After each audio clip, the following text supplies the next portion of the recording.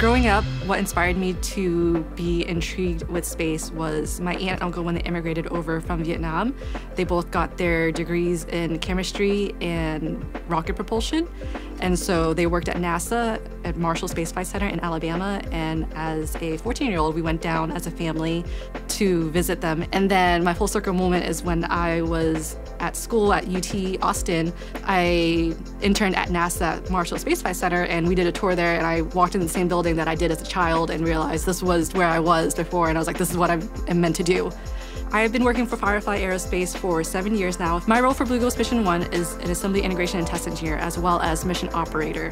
So for the actual mission, I will be the assistant flight director for operations. To me, the most exciting thing about the lunar mission is that we get to put our hard work and blood, sweat, and tears onto the lunar surface and show that the future generation that they could do this as well. Especially, it's most important to me for my daughter to know that as a woman, you could do this just as well as the men, or even better.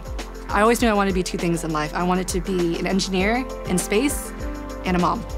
My number one personal goal for this mission is to show my daughter that she could do anything she puts her heart to and dream of. Just like my mom pushed me to do and allowed me to do, I want to do the same for my daughter. My name is Annie Vo-Cohen, and we're going to the moon.